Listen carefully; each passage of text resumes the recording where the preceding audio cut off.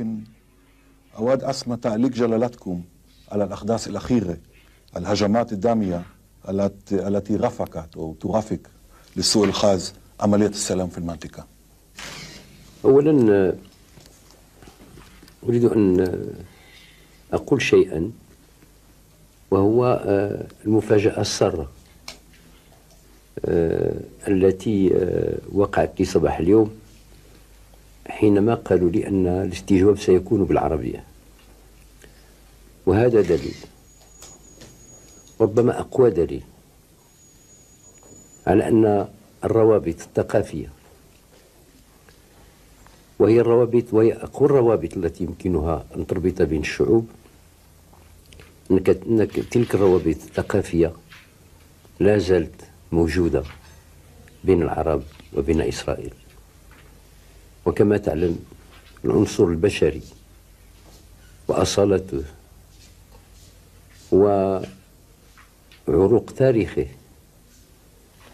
هي العناصر الأساسية التي يبنى عليها كل سلم شامل دائم مفتوح ومستمر.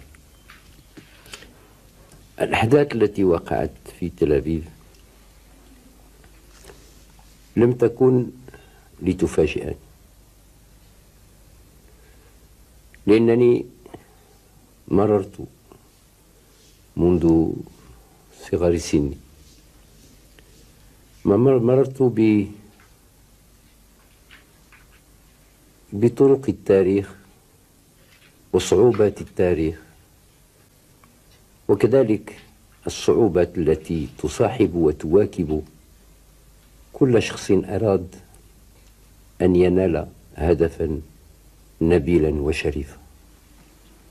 والسلم هو أنبل هدف وأشرف هدف. فكنت أنتظر أن يجد مسار السلام خصوما في طريقه.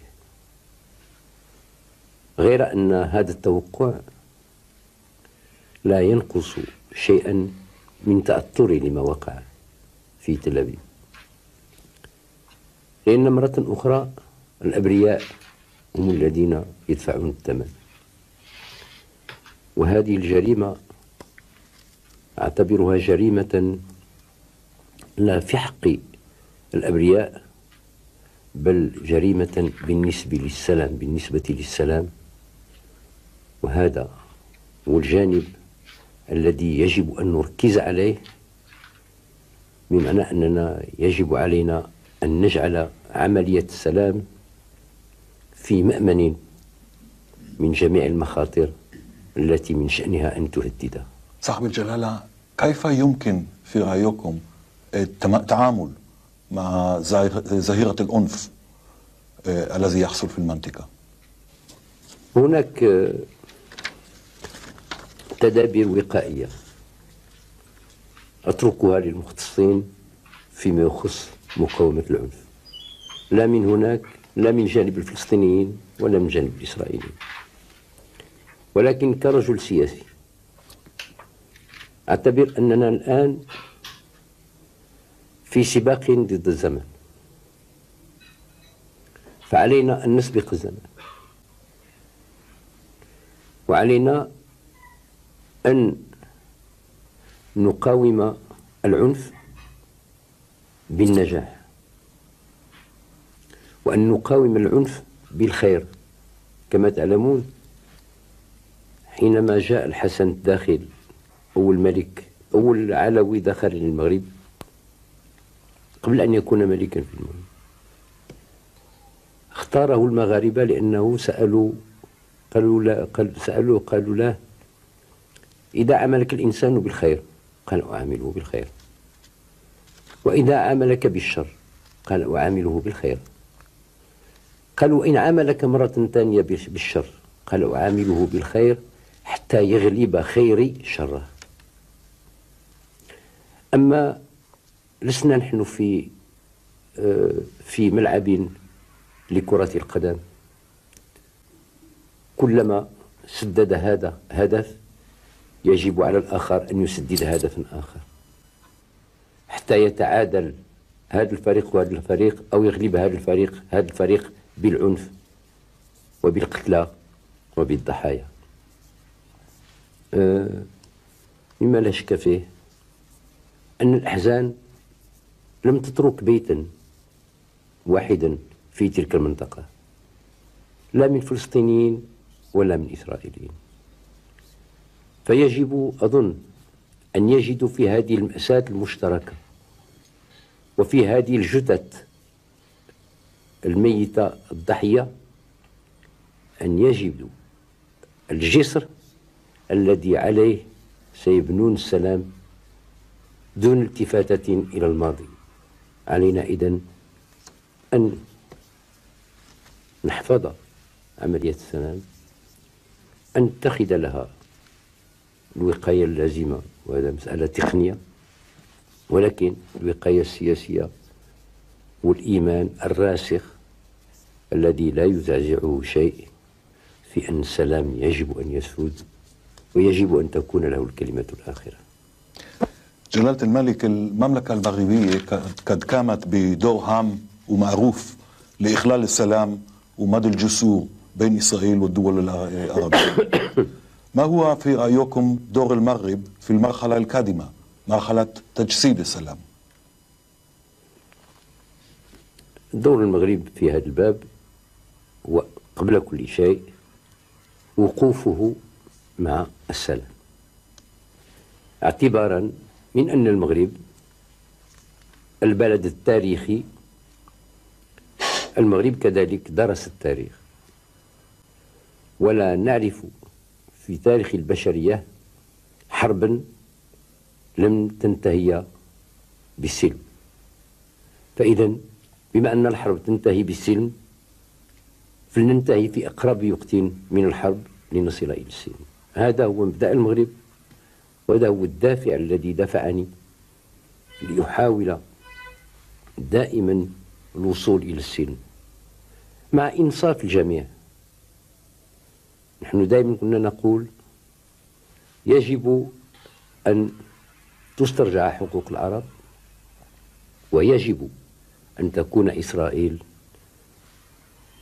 موجودة آمنة في حدود معترف بها دوليا لا لتبقى هذا الجانب وهذا الجانب جامدين لا بل ليقع التداخل والتعامل والاختلاط ذلك الاختلاط الذي كان قبل منذ قرون وقرون والذي من أجله انبثقت عبقريات عظام في تلك المنطقة من العالم العربي سنة 58 بيتهيألي قد ذكرتم جلالتكم إمكانية انضمام إسرائيل إلى جامعة الدول العربية الفكرة لسه مطروحة اليوم؟ أنا ذاك كنت وليا للعهد ولم أكن مسؤولا مباشرة. وجاءتني هذه الفكرة وأنا في زيارة خاصة إلى لبنان. و ولكن لم تحظى بأي قبول بالطبع. وكانوا ربما حملها المستمعون لا على البسط ولكن ربما حملوها على أنني لا زلت شابا آه، غير واع وغير عارف بما يمكن أن يكون. ف ولكن لا زلت أقول أن كان العرب آنذاك يقبلون إسرائيل في الجامعة العربية. وكانوا يوفرون أولا الأرض إن منذ 58 ضعت لهم أراضي كثيرة وضعت لهم أرواح كثيرة ووقعوا في خسائر كثيرة. فكانوا يوفرون الوقت يوفرون المفاوضات الطويلة لاسترجاع الأرض. كانوا يوفرون الكثير والكثير. ولكن التاريخ لا يعاد على ورقة مكتوبة كما كما يفعل ذلك المؤرخ للأسف. جلالة الملك بالنسبة للعلاقات الثنائية بين المملكة المغربية وإسرائيل إمتى ممكن نتوقع رفع مستوى التمثيل الدبلوماسي بين البلدين من مكاتب اتصال حاليا إلى سفرات مثلا؟ إمتى ممكن تبدأ رحلات طيران مباشرة بين الدار البيضاء كاسابلانكا وبين تل أبيب؟ إمتى ممكن آه، يتم توقيع اتفاقيات تجارية وأخرى بين البلدين؟ أولا آه، آه، مكاتب الاتصال ليست لها أي صفة دبلوماسية. ما عندهاش statut statut diplomatique. وهذا هو المعترف به لا في اتفاقية لاهاي ولا في اتفاقية نيويورك. ولكن وقع المغرب الوضع المغرب وضع خاص. لأنه هو البلد العربي الوحيد اللي عنده جالية تفوق 600 ألف يهودي من أصل مغربي. وكما تعلمون القانون عندنا يقول أن الجنسية لا ينسلخ منها الإنسان. فبالنسبة لنا أولئك اليهود الذين من أصل مغربي لا زالوا مغاربة. ولا زالوا مغاربة لأسباب كثيرة. لا قانونيا فقط ولكن لا زالت عندهم علاقة وطيدة عائلية دينية تجارية مع ذويهم وأقاربهم في المغرب. ولم نحبس قط أحدا عن زيارة إما قبر أبيه أو زيارة شقيق الله أو عم الله بل كنا دائما فاتحين الأبواب للمغاربة. هذوك أعتبرهم أبنائي. ولو ولو هم الآن قاطنين في في إسرائيل. فصلة الرحم من أوجب الواجبات في الإسلام. ولم يكن أن أقطع الرحم بين هذا وذاك لأن النبي صلى الله عليه وسلم كان يأمر بصلة الرحم وأنا سليل النبي صلى الله عليه وسلم ورسولي وسيدي. فقلت لك الوضع المغربي بالنسبة للدول العربية الأخرى وضع خاص لأن عندنا جالية مهمة. فكان من الواجب علينا أن نرعى مصالحها لا على المستوى الدبلوماسي ولكن في هذه المرحلة على مستوى مكاتب التنسيق. آه، وبالنسبة للتكادم في اللي بيسمى اليوم تطبيع علاقات بين إسرائيل والمغرب. مما لا شك فيه أن المسلسل اللي إحنا ماشيين فيه اللي ماشى فيه قضية السلام سوف يؤدي إلى التطبيع. لأن كما يقول مثل أوروبي النهر لا يرجع إلى منهله النهر يسير والتاريخ مثل النهر ولكن في هذا الباب لا يمكن أن أعطيك آه، توقيتا زمنيا مضبوطا. ما لا شك فيه أن إذا كان المغرب يعتبر عنصرا أساسيا لرعاية عملية السلام يجب لا يكون لا متسرعا هناك ولا متقاعسا ومتأخرا هناك. يجب أن يكون وسطا دائما يزن الأمور. كما يقول لينين في بعض الأحيان يجب أن توزن الاختيارات ببيضة النمل. وهذا ما جعل ولله الحمد أن المغرب قام بما قام به وحافظ مع ذلك. على احترام أشقائه العرب وعلى احترام الإسرائيليين وعلى احترام عدة دول في العالم. فلتترك هذه المسألة للظروف أولا ولتقييم الوقت علما منا أن الهدف واضح والمستقبل كذلك واضح. يا مولاي ما هو سر العلاقة الخاصة المميزة بين الجالية اليهودية والأسرة العلوية. لسبب واحد.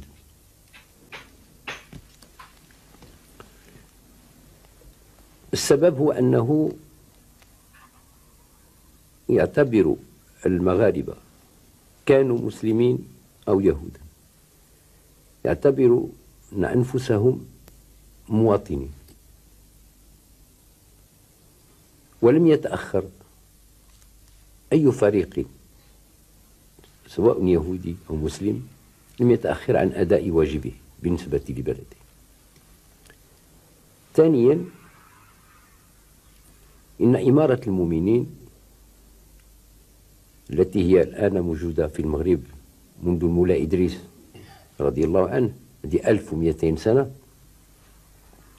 تجعل في عنق أمير المؤمنين.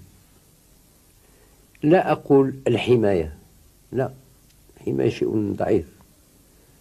تجعل في عنقه أنه يسهر رغم في رغم فوارق الدين والملة على كل إنسان يعيش فوق التراب. ثانيا كما تعلم آه انصهر المسلمون واليهود في محنة واحدة حينما كنا في الأندلس وخرج المسلمون واليهود من الأندلس. فلم نخرج متفرقين. خرجنا دفعة واحدة واحدا يشد في يد أخيه وحينما رجعنا إلى المغرب أولئك الذين كانوا في الأندلس جلالة الملك آه، الناس عندنا آه، بتتساءل إمتى يحين الوقت لزيارة جلالتكم للقدس الشريف؟ بعد الزيارات المتعددة آه، التي قام بها إسحاق رابين وغيره من الكادر الإسرائيليين إلى المغرب. والله تعلم أن أنني زيادة على أنني رجل متدين أنني رجل روحاني كثيرا. وأعتبر أن آه، أحسن يوم بالطبع بعد الحج وزيارة آه، بيت الله الحرام وقبر النبي صلى الله عليه وسلم. زيارة القدس لا يجد فيها الإنسان الروحاني إلا أحسن ما يمكن أن ينشده في حياته. زيادة على هذا أنني لي اليقين أن الشعب الإسرائيلي حينما أزور سيقابلني بعناق كبير وبفرح شديد. بلا شك. إنما كما يقول المثل العربي الأمور بمواقيتها. وحينما يأتي الزمن وأرجو أن يكون هذا في أقرب وقت ممكن سأقوم بتلك الزيارة. آه، راجيا أن يتم حل مشكلة القدس الموضوع الآن. على أحسن ما يرام كما تعلم آه، أنا رئيس لجنة القدس. ولكن الرئاسة هنا لا تعني لا تعني القرار تعني إدارة اللجنة. ولجنة القدس ليست مركبة فقط من عرب مركبة من مسلمين من جميع أنحاء العالم. فلذا آه، أقول لك نظريتي الخاصة أعتبر شخصيا أن قضية القدس يجب أن تطرح في آخر المطاف من مسلسل السلام حتى لا نخلط الجانب الديني بالجانب السياسي. بس هي لا مؤاخذة هي مطروحة اليوم آه، بسبب الإعلان الإسرائيلي الاتفاق الإسرائيلي الأردني بسبب نوع من التنافس بين الفلسطينيين والأردنيين آه، على الأماكن المقدسة. ولكن هذا النزاع الآن لا يهم السيادة على القدس يهم التكليف بالأماكن المقدسة أو رعاية الأماكن المقدسة. وهذا أعتبره آه، خصاما آه، ثنائية ثانوي بالنسبة للمشكل ككل. ما هو آه، موقف جلالتكم من القول أو من الفكرة أنه السيادة في القدس لازم تكون لا تعلق؟ والمفروض الاتفاق على سيرة مشتركة إسلامية يهودية مسيحية لإدارة الأماكن المقدسة لثلاث الأديان كل طرح كل طرح وكل خيال يمكننا من الخروج من الحالة التي نحن فيها. إلى وضع أحسن. يساوي بين الديانات. ويأخذ بعين الاعتبار الحساسيات والقوميات ويساوي بين الجميع كل حل وكل خيال يرمي إلى هذا الهدف. أنا مستعد أنظر فيه بإمعان وبإيمان. ختاما جلالة الملك هل عندكم كلمة آه، تتوجهون بها إلى المشاهدين آه، الكثيرون عندنا خصوصا اليهود المغاربة الموجودين عندنا في الاستوديو بالقدس مستنين هذه المقابلة هل أي كلمة للختام؟ أقول لهم آه، لو لم نكن في مسلسل السلام لما كانت لي هذه المناسبة لأن أخاطب الإسرائيليين سواء أبناءنا الذين من أصلهم في المغرب أو غيرهم. إذا هذا السلم أو مسلسل السلام هو الذي فتح لنا هذه القناة للتواصل والاتصال. فلنسير إذا في هذه الطريق وفي هذا السبيل حتى لا نحتاج إلى التلفزيون لنتعارف أو نتذاكر بل لنتذاكر ونتواجه ون ونناقش ونتذاكر بعض المرات بحدة وبعض المرات بلين ولكن بكيفية مباشرة علما أننا رغم البعد ورغم المسافة كلنا يد في يد لإسعاد البشرية ولرفع كلمة أبناء الديانات المرسلة الديانة اليهودية والمسيحية والإسلامية التي كلها منبثقة. عن جدنا جميعا